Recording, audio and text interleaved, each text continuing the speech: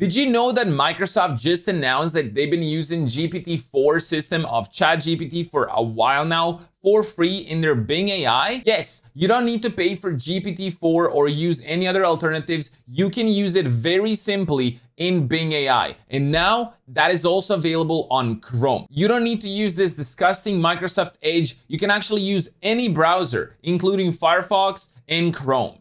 It's very simple, takes one plugin and it works seamlessly. Let me show you how to set it up. So all we have to do is go to the Chrome Web Store and enable Bing Chat for all browsers Chrome plugin. This will be linked down in the description below as well, but you simply need to install this plugin and bam, that is it. You can now use Bing AI, which is GPT-4 actually in Chrome itself. So now if we go to Microsoft Bing right here, as you can see, we just type hello and I click enter and you know, you can type whatever you want. But then you have the chat button in the top left and boom, it opens up the chat Bing AI right here without me even doing anything. I'm literally on Chrome right now. Like you can see I'm using Google Chrome right now. Like I'm not using any other browser. I'm not using Edge. It is all in Chrome. You don't need Edge. Edge is disgusting. So now what we can do, we can choose the conversational style. We can choose, I don't know, creative balance. And we can say,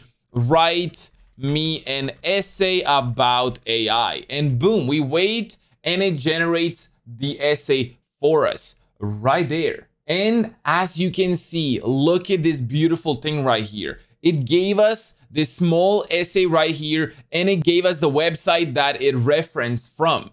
So if we want to check out these websites, we just click on these numbers or we click in these things below right there and boom. We can click on new topic. We can ask these, you know, generative questions right here, but it all works in Chrome. Very simple. As you can see, it is super nice and super easy to set this up. It takes you a few seconds and it helps a lot of people out. If you got this far into the video, make sure to drop a like. And if you haven't already seen my chat GPT video right here, check it out. Anyway, I do stream on Twitch three days a week. Link is down in the description below. I'll see you guys in the next video. Peace out and have a good one. Bye-bye.